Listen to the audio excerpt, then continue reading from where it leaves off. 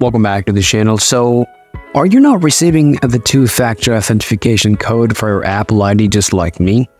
Hi there, my name is Joy and here is how to solve the two-factor authentication code is not coming on your SIM card.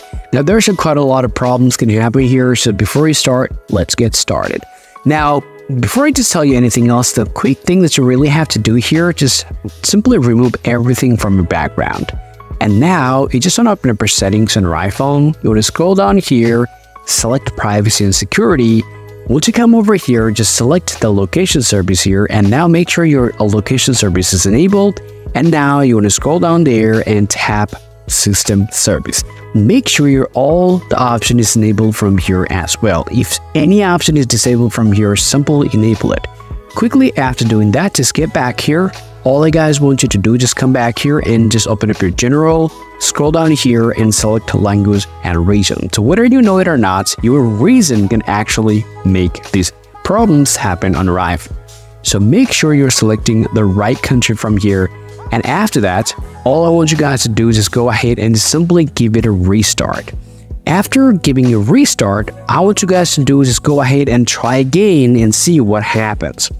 Now, if you see, well, it's not really working or the code is not coming there, all I want you guys to do is just go ahead and take a look at your SIM card.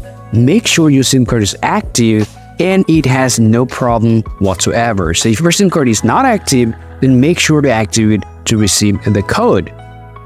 Let's ship down that as well. Your SIM is working, but you still have the same problem there. So now, please listen to this very carefully. So if your Apple ID has already been logged out or let's say logged into your other device, then here is how you can solve the problems.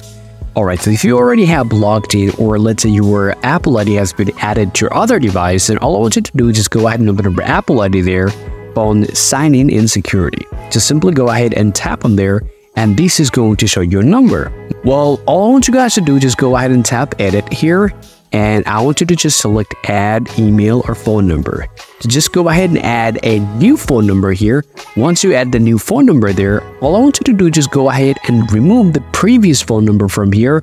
And after that, just go ahead and check whether your problem is solved or not. Or the next thing that you guys can do, you can simply come over here.